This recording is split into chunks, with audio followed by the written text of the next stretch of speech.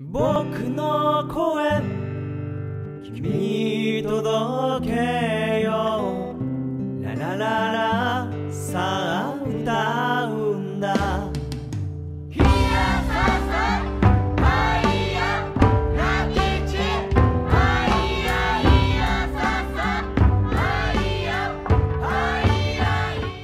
観光情報番組読谷ラジオこの番組は読谷村商工観光課他各社の提供でお送りします。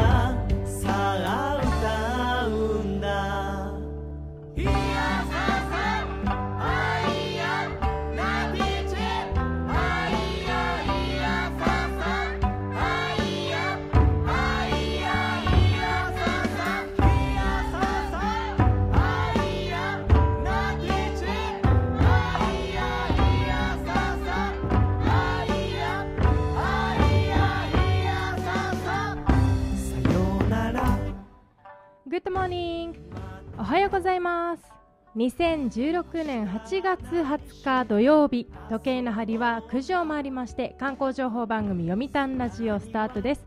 ナビゲーターあやみでお届けいたします。皆様おはようございます。さてオリンピックがね連日ニュースでテレビでえ報道されておりますけれどもあのもうメダルがね特にまたレスリングなんかすごいですね。立て続けに。いや本当にこうパワーと勇気と夢をもらえますけれどももう月曜日が閉会式でしたっけ？ねもうあっという間なんですけれども終わってほしくないなと思いますが、まあ、最後までね、えー眠い目をこすりながらでも4年に一度のこのイベントを、えー楽しんでいるという方も多いのではないでしょうか。で観光にいらしている方も部屋に戻ってね、えーホテルでゆっくりしながら、えテレビも見ながらと思いますが、えーテレビの CM なんかも沖縄に来るとまた違いますよね、えーそういった CM などからも感じれるここあの沖縄とかねありますがさらにまた読谷村を感じれる CM など、えーぜひですね FM 読谷のラジオを聞いてる中で、ね、あの番組の合間合間に入るスポンサーさんの CM なども楽しんでいただきながら、えー読谷ラジオそして FM 読谷と旅先で、えーお付き合いいただければ楽しんでいただければなと思います、えー今日もこの後、えー10時までの約1時間お届けしてまいります観光情報番組読谷ラジオ、えー今日はですね素敵なゲストさんも後ほど番組に、えーお招きしておりますので今日はたっぷりまたお話も伺えればなと思っておりますよ。よろしくお願いいたします。えー今日も10時までの約1時間お付き合いください。ナビゲーターは前川あやみです。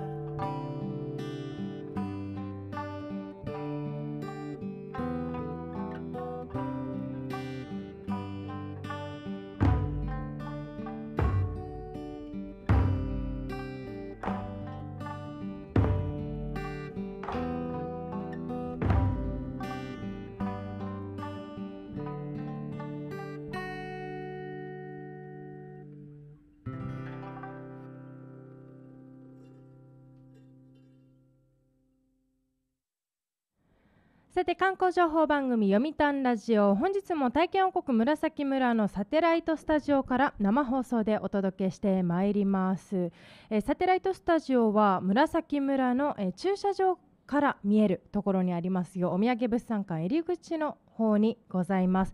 ぜひ訪れた方、えーガラス張りとなっておりますので、えー手も振っていただければなと思います。皆様の、えーお越しもお待ちしております。さて今日もドライビングナンバーから1曲お届けしてまいりましょう。私もね、えー、と友人でもあるんですが、えー、とアジアで活躍している4人組。ダンスボーカルユニットです。リーダーのたけしさんがなんとここ沖縄県出身ということで、えー私もね沖縄に帰ってきた時、えーお会いできる時ラジオにも出ていただいたことあったりするんですが、えーリーダーを務めてで他のメンバーは台湾だったり中国だったりから、ね男女集まっておりますよ、え日本語バージョンの歌をお届けいたしましょう。Asian Forefront で Ready Go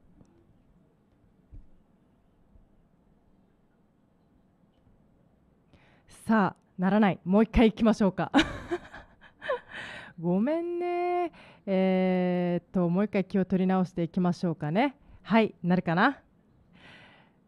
はいちょっとやってみましょう。じゃあ気を取り直して Asian Forefront Ready Go。今日のドライビングナンバーでお届けいたします。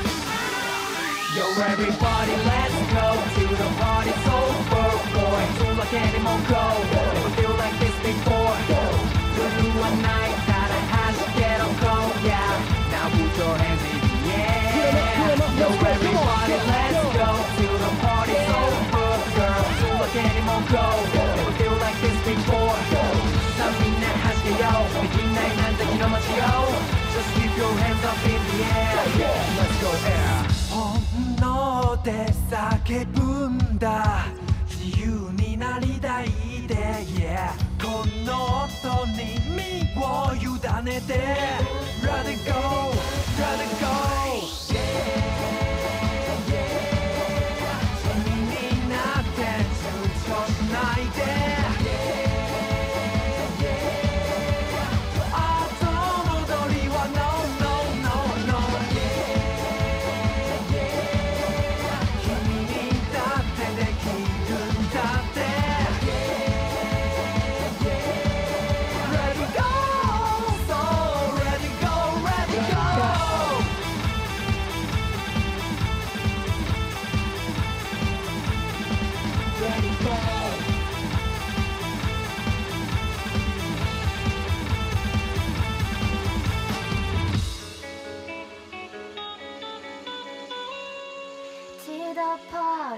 sober boy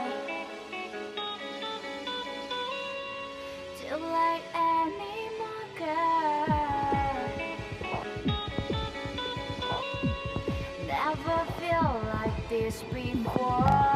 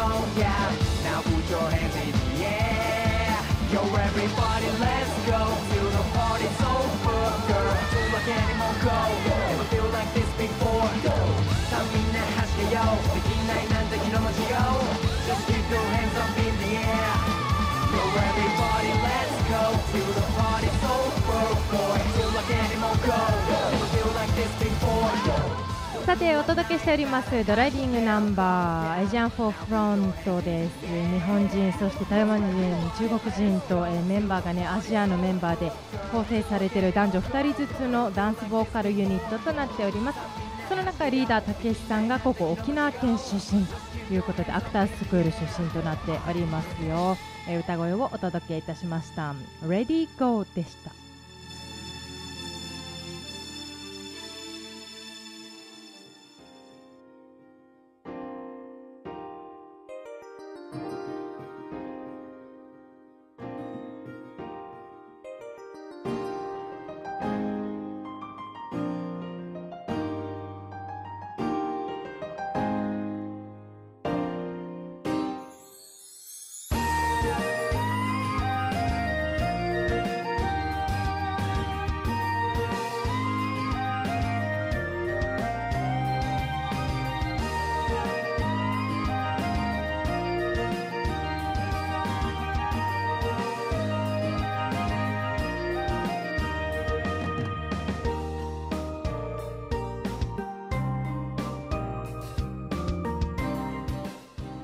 てこの時間はお天気情報です。読谷村がございます沖縄県本島中南部お天気晴れマーク一つにっこりと出ております。え外の方は風な風がえ北東の風となっておりますよ。沿岸の方波は1.5メートル。降水確率はえ1日を通して10%から20%となっております。日中の最高気温は33度まで上がる見込みです。昨日もね太陽マークが晴れマークが一つ出ていたんですが土砂降り降ったところありましたね。バケツをひっくり返したような大雨がありますね。やっぱりここ沖縄だと。本当に急なスコール、えー気をつけてください、えードライブマップ、ね、あのレンタカー活用される方手渡されるドライブマップの一言メモちょっと一言っていうねあの地図が掲載されているところにもコールについてねあの載っておりますよ。はい。さあぜひですねそういった時の運転などもねえ気をつけていただきたいと思いますが今日もどうぞ安全運転で、えー熱中症対策も十分にした上で旅をお楽しみください。この後一旦 CM を挟んでまだまだ続きます観光情報番組読谷ラジオです。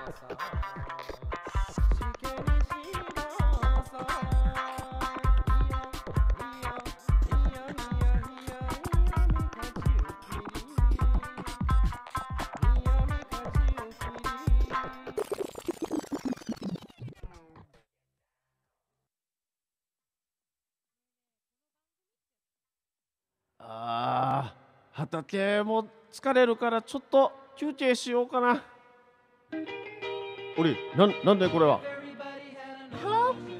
はいはい Hello, excuse me? はい Can I say, can I ask you something?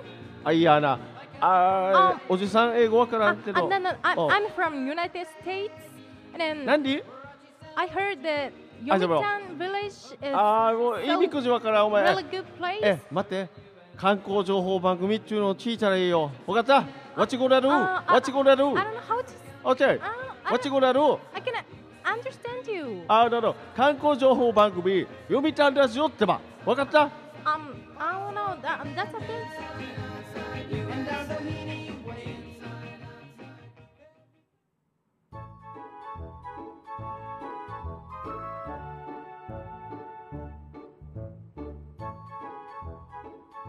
読みたんなんでも。調査団」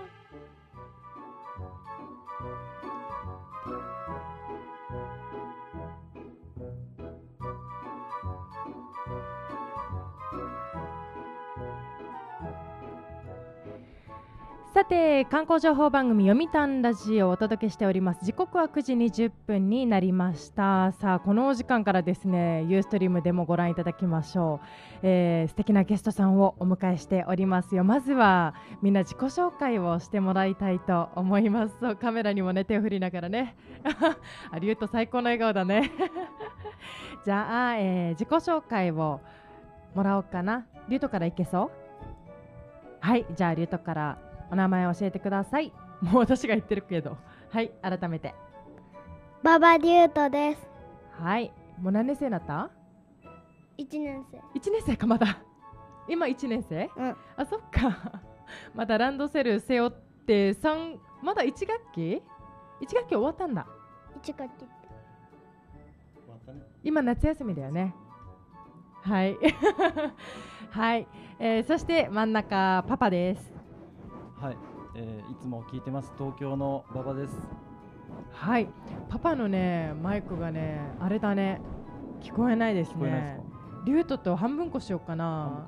いいですか？ちょっと急遽 ごめんね、ちょっと喋りづらいかもしれない。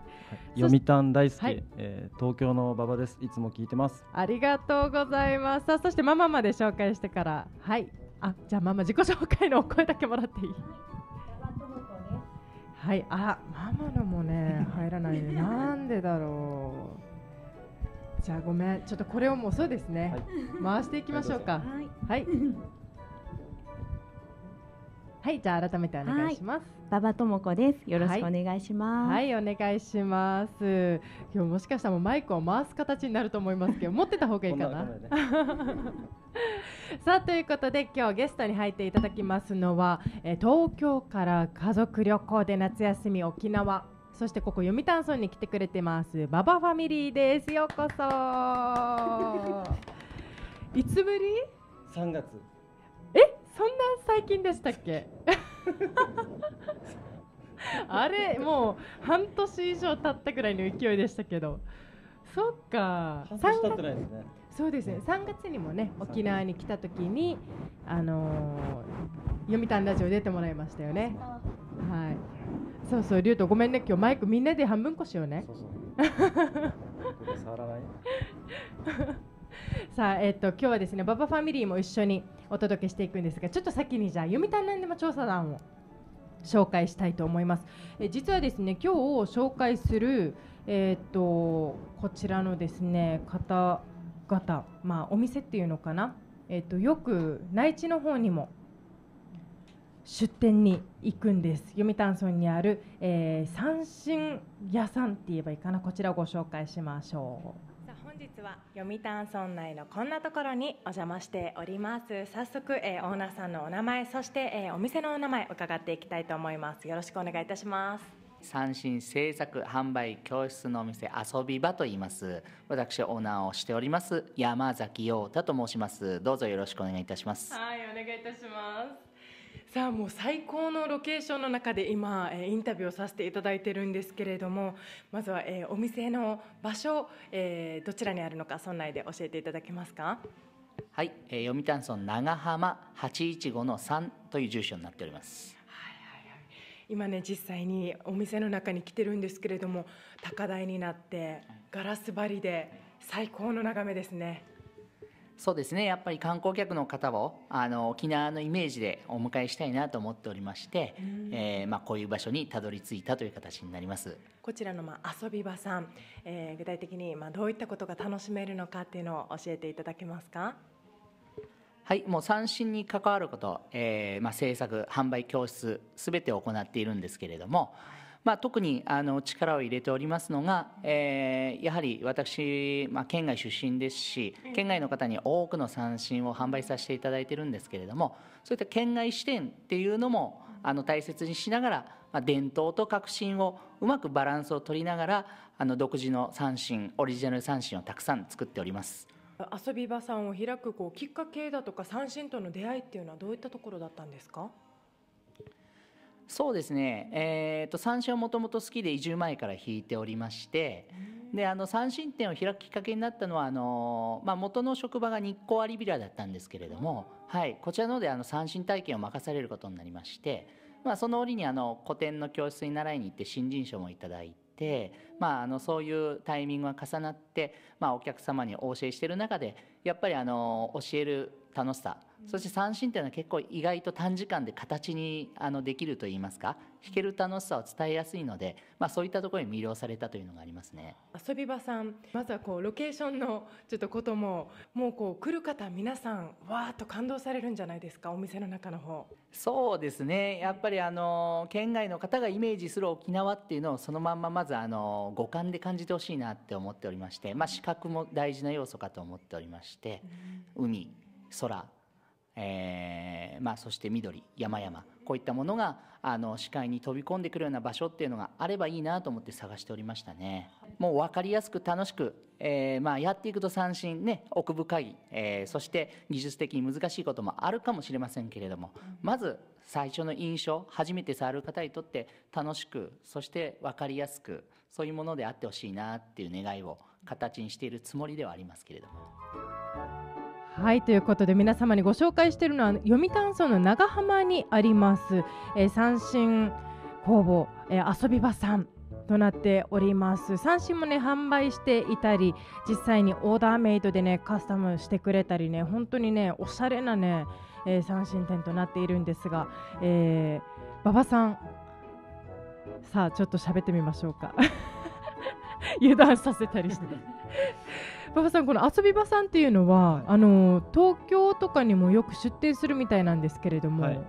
そうそう。実際にご存知でしたか？そうですね。あのフェイスブックにはいはい、よくお名前をうん、あの拝見させていただいてます。そうですよね、はい。遊び場さんフェイスブックでもよく情報発信してますからね、実際に足を運んだことは？と見かけたことはあるんですけどま まだ今度はぜひ。すごいなんか見晴らしの良さそうなね場所にあるなって感じですよね。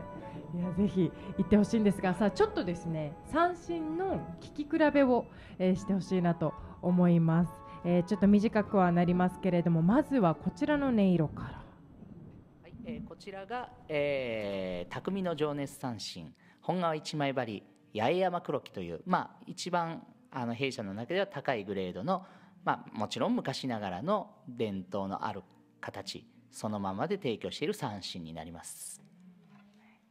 さ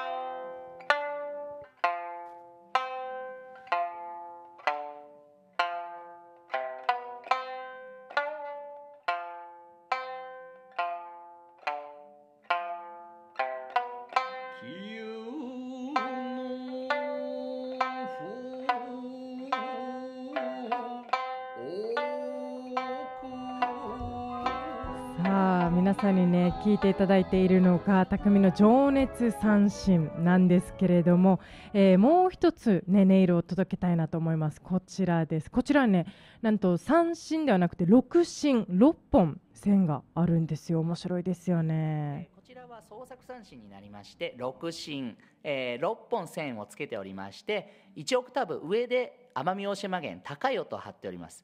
そして最大の特徴は、えー、従来のからくい糸巻きではなくてギター式のペグを使っておりますので調弦に非常に優れて便利な楽器になっております。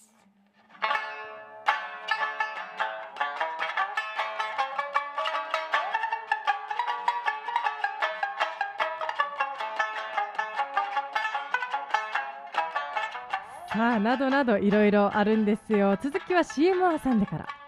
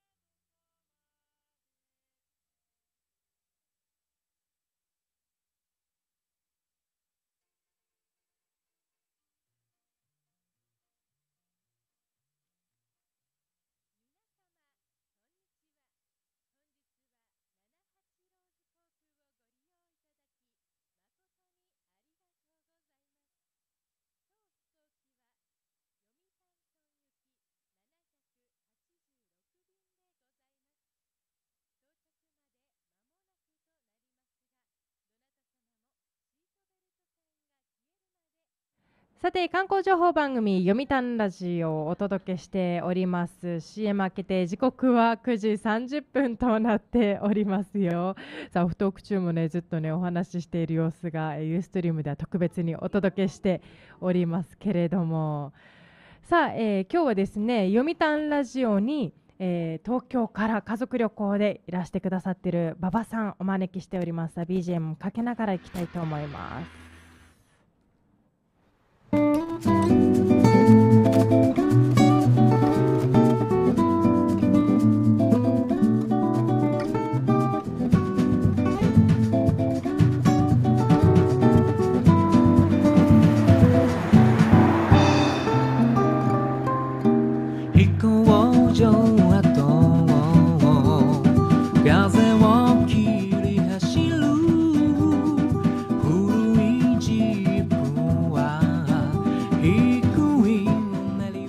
じゃあ改めてお声をいただきたいと思います。えっ、と今日トークはですね、馬場龍斗くんそしてパパの、えー、馬場さん馬場聡さん。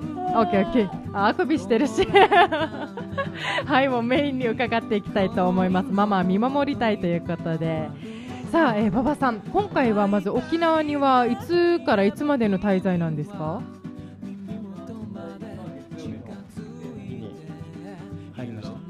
えっ、と運慶の日月曜日に。月曜日はい。はいはい。で15日です。もういつまででしたっけ？えっと今今日。日今日の最終便で。そうだよ今日帰るんだ。現実の世界に。現実の世界に。今回沖縄何回目なんだっけ？言うと何回目？リュウトわかる？何回目？今回沖縄何回目ですか？ほらパパから。はいコソコソっと。はいはい何回？マイクに向かって。何回？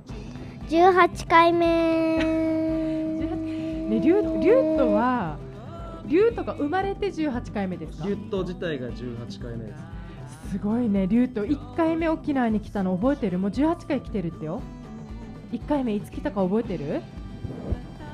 マイクがね。覚えてる？いつ来たかな？赤ちゃんの頃？これね。いいよリュウトこれに喋って。うーん覚えてないね。うん。実際何何歳の頃から来てるんですか？もうリュウトが。えっと0歳。0歳。もう生まれたばかりの頃から、妊娠分かったうんうん。2週間後あのさうんうん。何？0歳の頃さパパがさ、うん。泡盛持っててさ青森持ってた？踊っててさでさ俺にさバチャーンってかぶ かぶせちゃったん踊りでに夢中になっちゃって？うん。そうなんだ。しかもそれ青森だったんだ沖縄のお酒さすがだね。東京にいながらこうやって沖縄とあと読谷が好きになるきっかけっていうのをちょっとまあ今日初めてねあの馬場さんのことを知るっていう方もいるかもしれないので私たちにとってはねおなじみのもう FM 読みたんリスナーファミリーって感じですけれども改めてちょっとそのきっかけじゃあちょっとパパの方から教えていただいてもいいですか？そうですね、はい。えー、と初めて行った沖縄旅行は、はい。夫婦で石垣に行ったんですけど、うんうん。一度本島にも行かないとねってことで、はい空から見てたんですけどあ。空から見たらあ新宿と変わんないねって思ってて 割と都会だな。そうそうそうそう。あどんなかねと思って。で初めて来て、はいで最初の一泊目がうん。読谷アリビラだったんですよ。はいはいはい。でも初回から。沖縄のうん。友達とうん。朝まで飲んじゃって 飲んじゃってでホテルに夜中ですねもうチェックインしたの、あチェックインもまだだったんですね。あチェックインしてたのかな。でも帰ってきすたのが。ぐすぐ飲み行っちゃって、はいはいはい。で朝方帰ってきて、はいはい。でその後北部に行くんで、うん。朝食も取らずに出発したんですよ、うん。そしたらエレベーターからパティを眺めて、はいはいこのホテルやばいよって話になって ですぐリピートしました。あアリビラさんもね、もう本当にアリビラさんのことすごい詳しいんですよね。なんかいろいろと。谷継さんほどじゃないですいやねで谷次さんスタッフさんですからね。そうね、今回の沖縄では、えっ、と、まあ、どこどこ回ってどういうふうに過ごしているのか、じゃあ、ちょっと聞かせてもらってもいいですか？そうですね。今回は、うん。あの旧盆と夏休みがぴったりはまったので、はいはいはい。あのエイサうん。ー大好きなんですね、はいはいはい。えー道ジュネ見てウークイ初めてのウークイ朝4時半までウークイ一緒に 公民館で、ご先祖様なかなか返さないと。はい、もうこのつながりもご先祖様たちあっての、そうですね。えー今ここに座ってますからその気持ちを込めてウークイしました、ウケる、もう初めてのウークイっていうことで、はすごいですね。もうそれも沖縄に来て、あのどんどんつながって友達になっていった方々そうですね。あのいろんな人とおしゃべりしてるうちに読谷にも友達いっぱいで。いやでも旅先でこうやってまた遊びに行ける友達ができるってまあ人にもよると思うんですけど何なんですかね？馬場さんの人徳だと思うんですけどいつも馬場さんから声かけたりすることが多いんですか？多いんですね。一方的に友達になったりして結局沖縄大好き読谷大好きって言ってると向こうもやっぱ喜んでくれてそうですよね。確かにうちなんちとして沖縄大好きって言われたら嬉しいもんな。僕もいろんなとこにお中元持って行ったりとか 出産祝い届けたりとか。もうすぐそうもうどんどん一方的にしてるものから結局こうつながっていってそうそうっていう感じ。大事ですね。次は何なの？次はねもう次どういう風になっていくのかな、ね。でリュウトは沖縄に来て今回今回の旅でなんかどこが楽しかった？いろいろ行ったんじゃない？エイサー？どっか行った？どっか行ったかな？何何？あもう一回もう一回。はい。水族館。あ美ら海水族館？うん。何？美ら海水族館の一番何がびっくりした？え好きなや何何？好きなやつ。いっぱいいるけどね。読谷からのお魚が半分以上だよ。そうだよジンベエザメとか。どこが楽しかった？好きな。好一番大きいところ？きな魚言ったらあそうそう好きな魚何？覚えてるかな名前。言っていいよ。好きな魚。教えて。ねえねえに大丈夫？後ろ BGM 流れてるから一応放送事故にはなってないよ。教えてあげてみんなに。いっ覚えてる？好きな魚。ぱいありすぎる？つ いや選べないかな。選べない？いいよ。2つでも3つでもいいよ。サメが好きなんだよね。あそうなんだ。サメのさあの歯が大きく開いてるところ行った？水族館の中で。そうそうそう。フィギュア持ってそう中で写真撮れるところ。覚えてる？覚えてるよね。下北沢に行ったらいいよねしゅシュモクザメっていう名前？シュモクザメ目がここうなっててああ横に広がってるサメ？はいはいはいはい。シュモクザメって言うんだあれ。うん。赤シュモクザメあ黒いさ。詳しい。黒うい、んここがあのさうん。背中にさこういうはいはい。黒いのあるじゃん、でここがさ白じゃん？あそういうのはさ、はい赤シュモクザメっていうの。うわすごいね。すごい詳しいね。横覚えてるね。ここがね金みたいで、うん。ここが白のやつは白シュモクザメ、ちょっと違うんだ名前が。詳しい。詳しいね。ちょっとさかなクンレベルになるんじゃないですか将来そうなんだ。サメが好きなんだねリュウトは。他にも水族館以外にどこか行かれましたか？えっ、と、うん。今回ははい。あのホテルの部屋がちょっといい部屋にああい泊まったんですね。はいはいはい。これはホテルアリビアリビラさんラでええええ。そしたらもったいなくて部屋から出れないんですよ ちょっとあのグレードをアップして。初めて。本当ですか？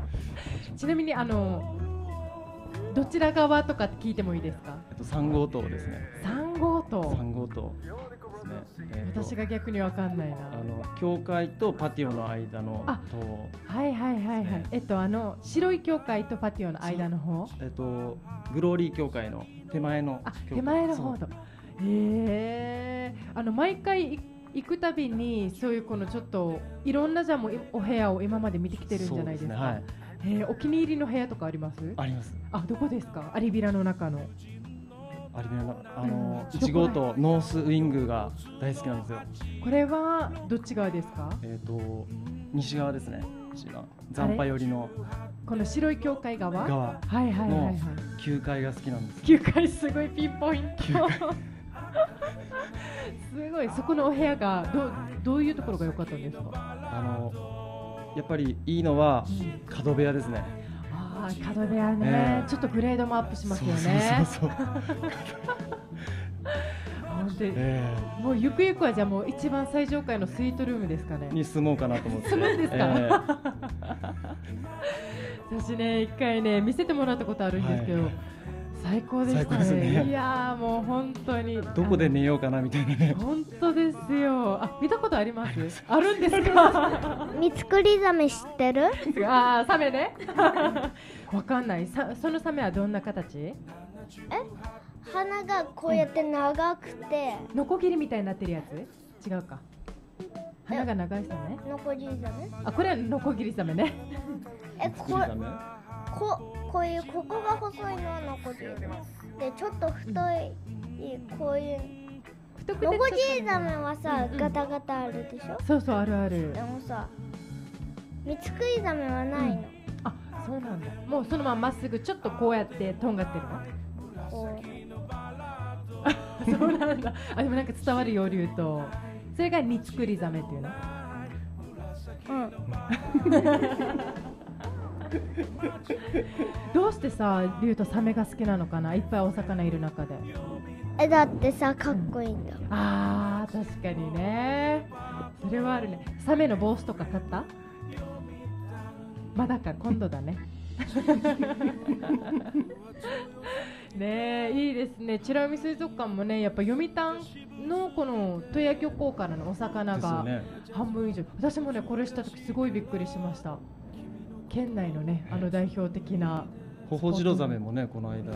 あそうそうそうそうそう。すぐにねそうなんですよ、まあね、ちょっとあのな亡くなっちゃった子ですよね、でもね、本当にそういうのもニュースになるぐらい、今東京で会えますよその子に。あそうなんですか？えどういうことですか、どこだどっかで見れるんですよ。東京、調べておきます。ね読谷からのサメが、博物館そうそうそう。あはいはい、そっか、その子ちょっと亡くなっちゃったけど、そういうふうに標本みたいな、ね。なって、はい。あ東京に行ったんですね、今読谷の海から。そうなんだ。でそれ知った時すごい嬉しくて。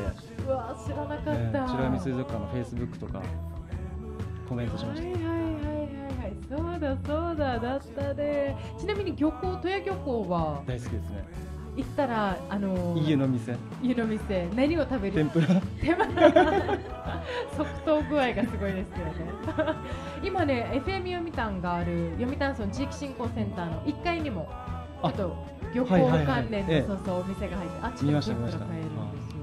いつもね1階がいい匂いするの。ねあそこでご飯食べるのもいいかなと思って。あそうそうぜひぜひボリュームありますよ、ね本当に漁港での天ぷらとか食べたの覚えてる？リュウと読谷の海のところで天ぷらとか買ったの。いっぱいいろいろ食べてきてるもんね。覚えてないか そうね、えっとですね、一旦 CM を挟んで、えーまだまだお話聞きたいと思います。今日はね、ちょっと一部また、えーコーナーも、えー変更しながらね、行きましょうね。朝早くからだから眠いよね。夜遊夜遊んじゃった夜がか遅かったから。らヤドカリにあったもんね あ、そうなんじゃ、ちょっと一回 CM を挟んで、その話も聞いていこうかなと思います。今日は、えー読谷ラジオに東京から、えー旅行に来ているババファミリーが、えーゲストでお迎えしておりますよ。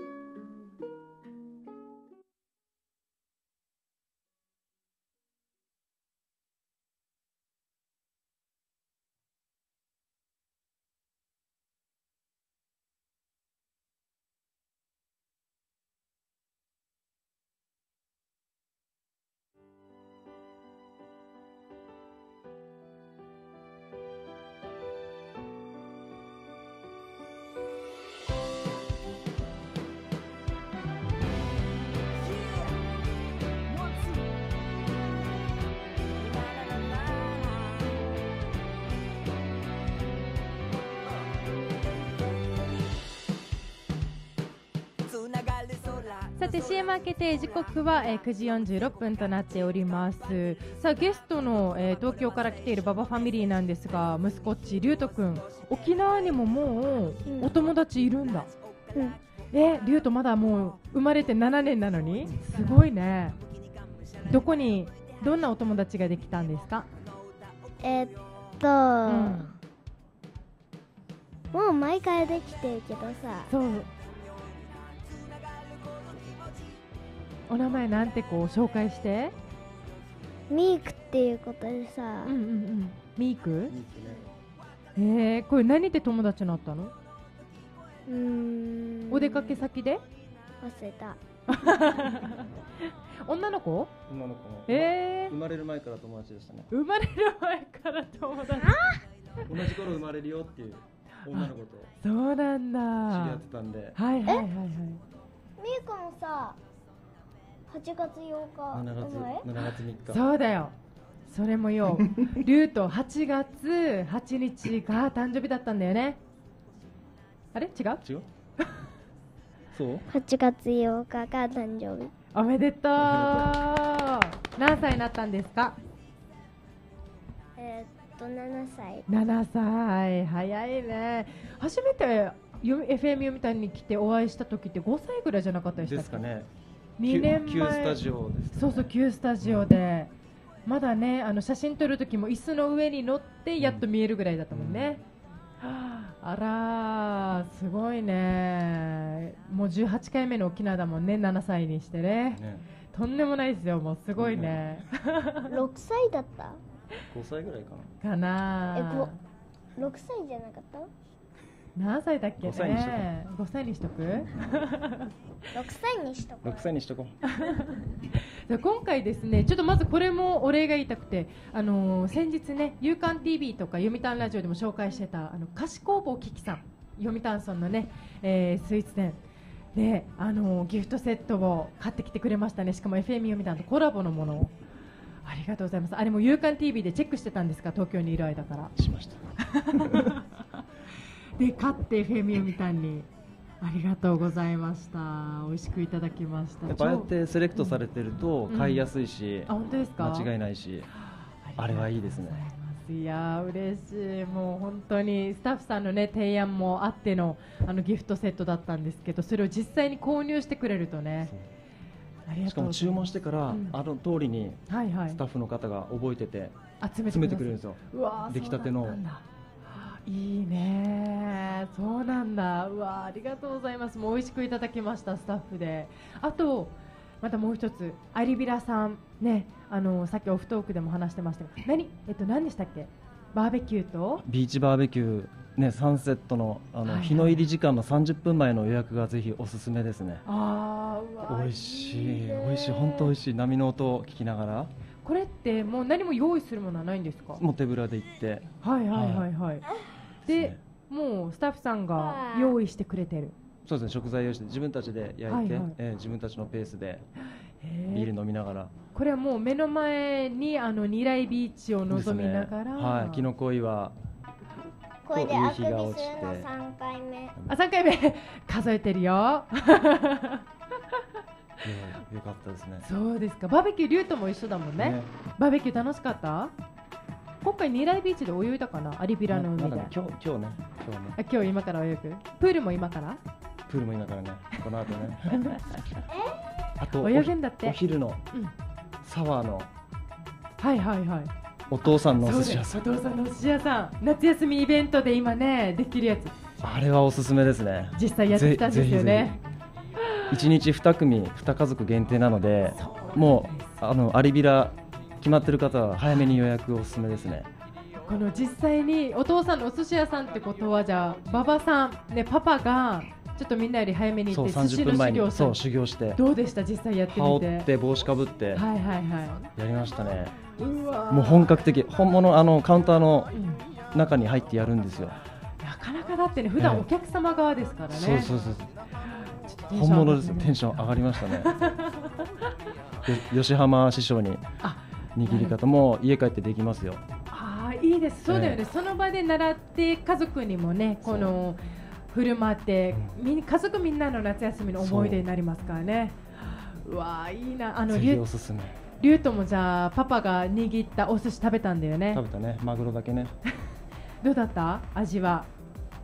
パパが作ったお寿司はいかがでしたかリュウとうーん。赤身赤身。リュウとの評価は？美味しかった？うん。パパの愛がこもってた？笑ってる？いいね本当に。夏休みの特別な思い出になると思いますけど。ねもうリュウと絵日記に書くことたくさんあるんじゃない？宿題ある ?1 年生。学校の宿題。いっいっぱいあるよね。ぱいある。プリン何何？プリント？プリントは終わった？うん。絵日記とかは？ある？あと英国あそうなんだ。もうたくさん沖縄での思い出書いてるんじゃない？かけるね。ね子供たちは宿題もしながらっていうのだけどね夏休みのこうやって思い出が小さい頃からあるといいですね本当に。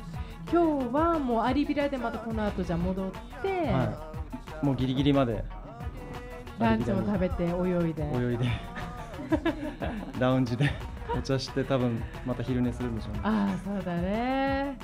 もう寝て食べて育ってっていう盛りだもんね。下手したらい。乗り,、乗り遅れば乗り遅れたら今日さ朝ごはん。な何？今日さ朝ごはんさ。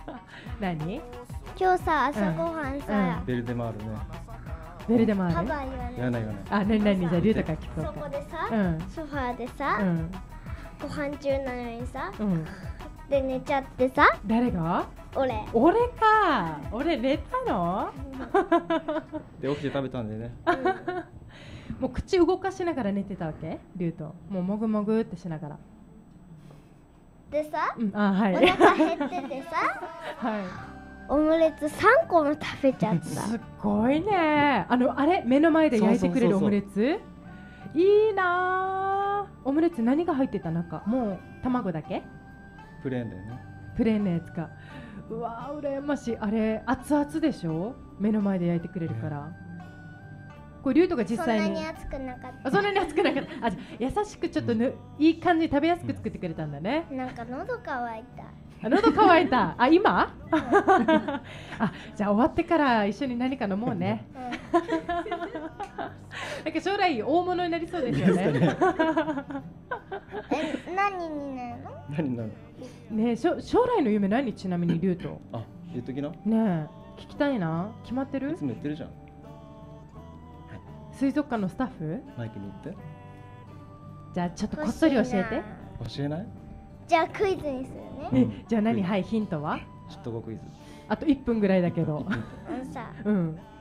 1はうん。今うん。何時間ない。よ今さ えっと終わっちゃう終わっちゃうはいじゃあ分かった。水族館のさ、うん。スタッスタッフフにはうん。にはには？ウミガメのスタッフさんは、うん。深海のスタッフ。深海の。あ深海うのん。研究者どれでしょう、よし。じゃあリュウとちょっと番組終わってから答えてもいい？夕刊 TV でもクイズにしようかな。じゃあすいません。パタパタなんですが、えーこの番組は読谷村商工観光課他各社の提供でお送りします。馬場さんもうすでに次の沖縄決まってますか？まだ決まってないですね。オッケーまずお金貯めます。あそうだね。お金なくなっちゃった。でもね沖縄でかけがえのない思いで作れてますからね。そうね。ぜひまた次回もいらしてくださいね。はい、ということで今日は東京から馬場ファミリーをお迎えしての読谷ラジオでした。ありがとうございました。ありがとうございました